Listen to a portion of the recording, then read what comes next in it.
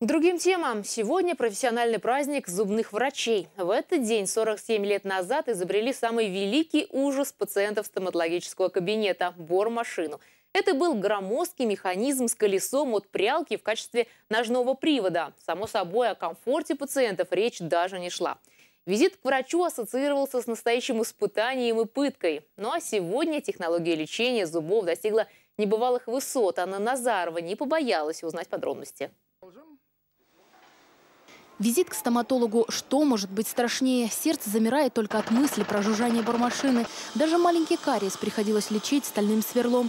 С годами ситуация поменялась в корне. Современная заморозка полностью избавит от боли, а бесшумная бормашина не испугает даже ребенка. На начальных стадиях кариеса помогут ультразвук и лазер.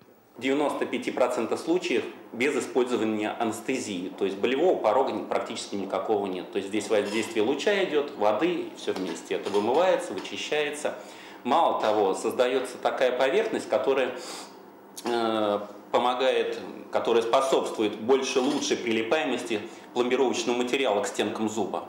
Современная медицина позволяет лечить, наращивать зубы и вживлять импланты. Поэтому красивая улыбка доступна многим. Но важно, чтобы она была еще и здоровой. Для этого зубные врачи советуют ограничить сладкое, не забывать о постоянной гигиене полости рта и посещать стоматолога не реже двух раз в год. Ведь здоровые зубы – это еще и здоровый желудок. Такая бактерия, а, как хеликобактер пилори, она а, присутствует и во рту а, при, при заболевании кариесом, и непосредственно воздействует на, на полость желудочно-кишечного тракта, на желудок и вызывает э, заболевание, как э, язвенная болезнь желудка.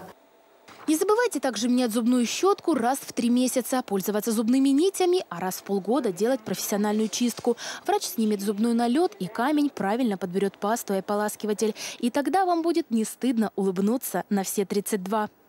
Анна Назарова, Максим Максимов, Юлия Левицкая. Новости дня.